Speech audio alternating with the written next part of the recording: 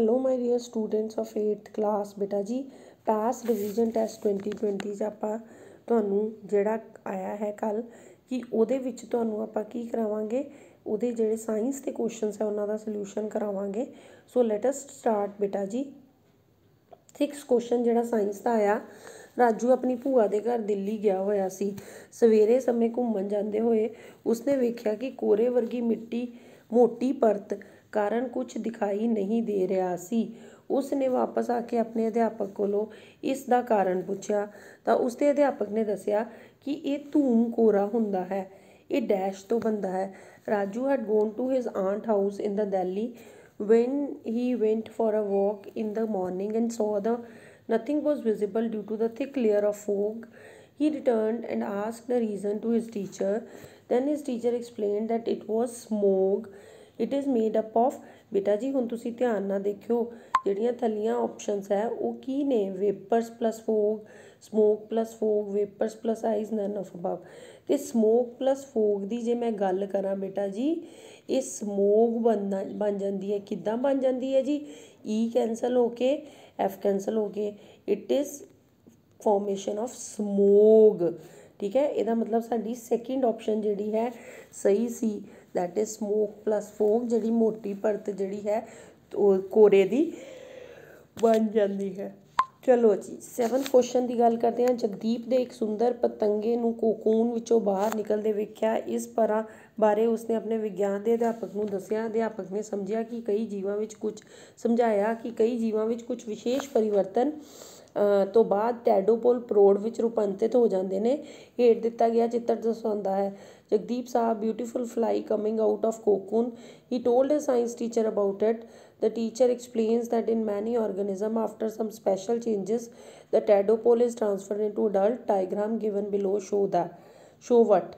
ਬੇਟਾ ਜੀ ਦੇਖੋ ਮੇਰੀ ਗੱਲ ਸੁਣੋ ਆ ਜਿਹੜਾ ਨੀਚੇ ਡਾਇਗਰਾਮ ਦਿੱਤਾ ਹੈ ਇਹ ਚ ਟੈਡੋਪੋਲ ਜਿਹੜਾ ਹੈ ਉਹ ਬੇਸਿਕਲੀ ਇੱਕ ਐਗਸ ਤੋਂ ਨਿਕਲ ਕੇ ਇੱਕ ਫਰੋਗ ਦੀ ਸ਼ੇਪ ਚ ਆ ਜਾਂਦਾ ਹੈ। ਅਤੇ ਇਹਦੇ ਵਿੱਚ ਜੇ ਤੁਸੀਂ ਆਪਸ਼ਨ ਦੀ ਗੱਲ ਕਰੋਗੇ ਤਾਂ ਆਪਸ਼ਨਸ ਦਿੱਤੀਆਂ ਹੋਈਆਂ ਹੈ। ਡੱਡੂ ਵਿੱਚ ਕਾਇਆ ਪਰਿਵਰਤਨ, ਡੱਡੂ ਵਿੱਚ ਲਿੰਗੀ ਜਨਨ ਡੱਡੂ ਵਿੱਚ ਲਿੰਗੀ ਜਨਨ ਉਪਰੋਕਤ ਵਿੱਚ ਕੋਈ ਨਹੀਂ। ਤੇ ਇਹਦਾ ਜਿਹੜਾ ਸਹੀ ਆਨਸਰ ਹੈ, ਉਹ ਹੈ ਡੱਡੂ ਵਿੱਚ ਕਾਇਆ ਪਰਿਵਰਤਨ ਦੈਟ ਇਜ਼ ਮੈਟਾਮੋਰਫਿਜ਼ਮ ਠੀਕ ਹੈ ਜੀ? ਚਲੋ। ਅੱਠਵੇਂ ਕੁਐਸਚਨ ਦੀ ਗੱਲ ਕਰਦੇ ਹਾਂ। ਪ੍ਰੀਤੀ ਨੇ ਅੱਜ ਜਮਾਤ ਵਿੱਚ ਪੜਾਇਆ ਕਿ ਤਾਜ ਮਹਿਲ ਦਾ ਸੰਗਮਰਮਰ ਪੀਲਾ ਪੈਂਦਾ ਜਾ ਰਿਹਾ ਹੈ ਜਿਸ ਨੂੰ ਸੰਗਮਰਮਰ ਕੈਂਸਰ ਵੀ ਕਹਿੰਦੇ ਹਨ। ਇਹ ਤੇਜ਼ਾਬੀ ਵਰਖਾ ਕਾਰਨ ਹੁੰਦਾ ਹੈ। ਆਗਰਾ ਅਤੇ ਇਸ ਦੇ ਚੌਹਾਂ ਪਾਸਿਆਂ ਤੇ ਸਥਿਤ ਅਜਿਹੇ ਕਿਹੜੇ ਕਾਰਕ ਗੈਸਾਂ ਹਨ ਜੋ ਤੇਜ਼ਾਬੀ ਵਰਖਾ ਦੇ ਲਈ ਜ਼ਿੰਮੇਵਾਰ ਹਨ?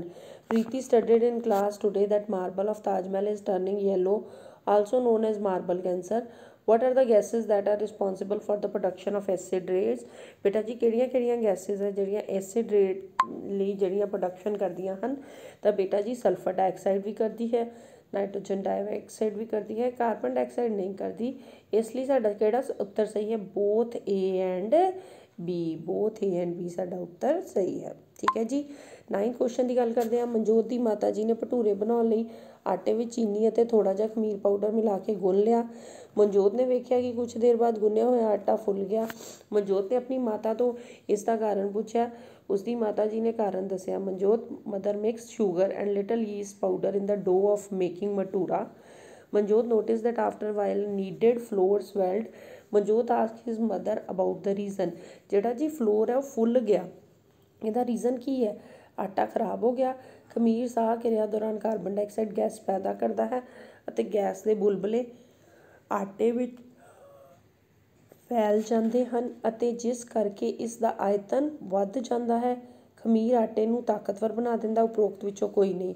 ਤਾਂ ਡੀਅਰ ਸਟੂਡੈਂਟਸ ਜੀ, ਇਹ ਕਿਉਂ ਹੋਇਆ ਕਿ ਜਿਹੜਾ ਖਮੀਰ ਹੈ, ਉਹ ਸਾਹ ਕਿਰਿਆ ਦੌਰਾਨ ਕਾਰਬਨ ਡਾਈਆਕਸਾਈਡ ਗੈਸ ਪੈਦਾ ਕਰਦਾ ਹੈ ਅਤੇ ਗੈਸ ਦੇ ਬੁਲਬਲੇ ਆਟੇ ਵਿੱਚ ਫੈ ਪੈਦਾ ਜਿਹੜੇ ਹੋ ਜਾਂਦੇ ਹਨ।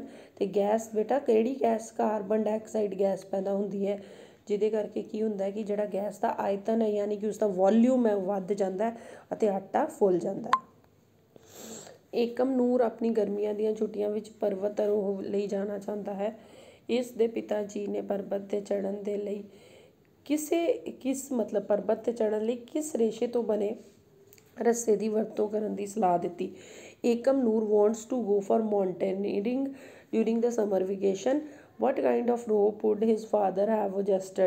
nylon rayon polyester acrylic ਬੇਟਾ ਜੀ ਤੁਹਾਡੀ ਬੁੱਕ ਦੇ ਵਿੱਚ ਸਪੈਸ਼ਲ ਕਾਲਮ ਬਣਿਆ ਹੋਇਆ ਹੈ ਕਿ ਨਾਇਲਨ ਇੰਨਾ ਮਜ਼ਬੂਤ ਹੈ ਕਿ ਉਸ ਤੋਂ ਕੀ ਬਣ ਜਾਂਦਾ ਹੈ ਜੀ? ਉਸ ਤੋਂ ਪਰਵਤ ਨੂੰ ਚੜਨ ਵਾਲੇ ਰੇਸ਼ੇ ਬਣ ਜਾਂਦੇ ਹੈ। ਇਸ ਲਈ ਸਾਡਾ ਪਹਿਲਾ ਉੱਤਰ ਹੀ ਸਹੀ ਸੀ। ਸੋ ਡੀਅਰ ਸਟੂਡੈਂਟਸ ਆ ਤੁਹਾਡਾ ਪੈਸ ਦਾ ਪੇਪਰ ਸੀ ਜੋ ਤੁਹਾਡਾ 1 ਨਵੰਬਰ ਨੂੰ ਆਣਾ ਸੀ ਔਰ ਫਰਾਈਡੇ ਆ ਗਿਆ ਔਰ ਇਹ ਸੈਟਰਡੇ ਰਾਤ ਤੱਕ ਤੁਸੀਂ ਕਰਨਾ ਸੀ।